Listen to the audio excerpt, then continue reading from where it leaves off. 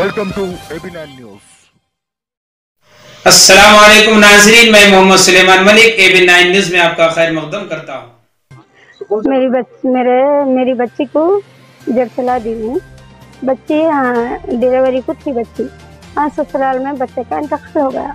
इंतकाल होने के बाद में मैं बच्ची को घर को ला। ली ला लेने करने चालीस दिन होने के बाद में सास आके बाद में लेके जाते बोले तो ला ली। ला लेने के बाद में दामद नहीं आए। अब भी आए। बीवी से मिलते बोल को आए मिलती बोल का तो हद से बोलते हद से कोई चीज़ तो थे, मेरे नहीं मालूम है सब।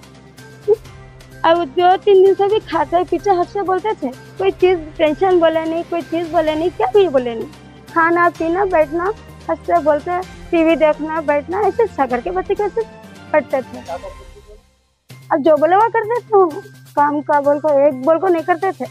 आज ये कल वो पैसा भी करते थे। हाँ देर चले में रहते थे।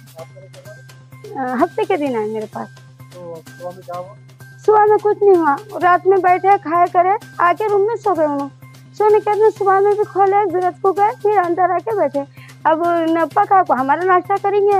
नाश्ता देने का है माँ बोल को घर पका रहे थे।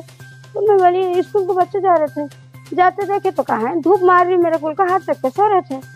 मैं बोली वो, देख लेते चले गई मैं। संध्या इधर क्या करना है? पकड़ाना है भी बोल को मैं चले गई। अब स्कूल को छोड़ के वापस से मैं आया तो दरवाज़ा बंद दिखा मेरे। कई को मैं दरवाज़ा बंद है बोल को बोले तो जल्दी हमारी मेरी बहन हो ना उनकी अम्मी मैं बहन को फ़ोन लगी। देख माँ अपना अप, बच्चा शादी दरवाज़ा बच्चा बोलती मैं दामद बोल को नहीं बोलती। बच्चा दरवाज़ा लगे देख माँ बोले तो कई को लगा लिया था पापा दरवाज़ा जरा दियो फ़ोन में बात करती हूँ उसको। काम पे जाना है नहीं जाना है जरा पूछती हूँ मैं बोल को बोले उन्होंने बोलने के बाद गड़बड़ डाले तक कहा है उन्होंने दरवाज़ा खोले नहीं। अब क्या समझना हम बोलो? रोज भी को बुला को बोले तो। अब बुला लेके आए उन्होंने दरवाज़ा तोड़ के देखे तो ये हालत थी बच्चे की। नहीं नहीं कोई चीज़ नहीं टेंशन बोले ना लड़ाई बोले ना मियाँ बीवी हंस से बोलते हैं हमारे से हंस से बोलते हैं, सब कोई बात ही नहीं। अब सुबह में अचानक ऐसा हुआ बोलते थे हमें परेशान हो गए। ऐसा कैसा करे बच्चा बोलो। हाँ पुलिस वाले आए थे। मोहम्मद सादिक है? तीस साल के हैं।